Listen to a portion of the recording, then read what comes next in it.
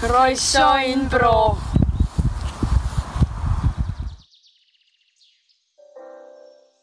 Dyma golygfa o ardal Penllyn.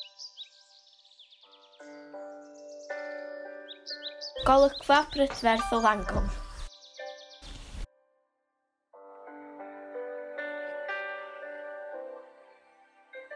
Dyma atyniad poblogaeth y Bala, Llyn Tegid, Llyn Naturiol Mwyaf Cymru. Fferm fodern sydd yn hefyd yn rhoddi pwyslais mawr ar warchod yr amgylchedd.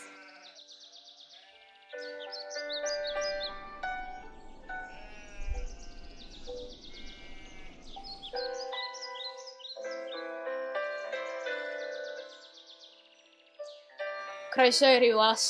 Mae rhywlas yn godro 480 o wartheg, 170 o loe a 170 o bwlyn heifers. Lwyd i ennill y wobr am y bosell gorau yng Nghymru. Pan Rotary sydd yn rhywlas a maen nhw'n godro i gwartheg diwedd y dydd. Dyma wartheg godro rhywlas. Maen nhw'n cadw Holsteins, Frisians a Jerseys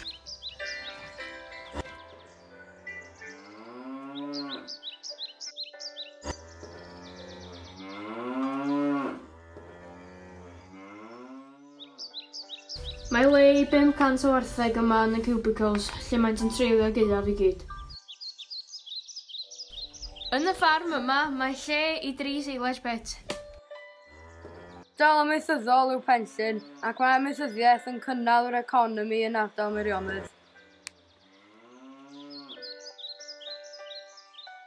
Mae arall gyfeirio hefyd yn bwysig i'r ffermwyr, gyda nifer y manteisio ar y diwydiant twristiaeth yn yr haf.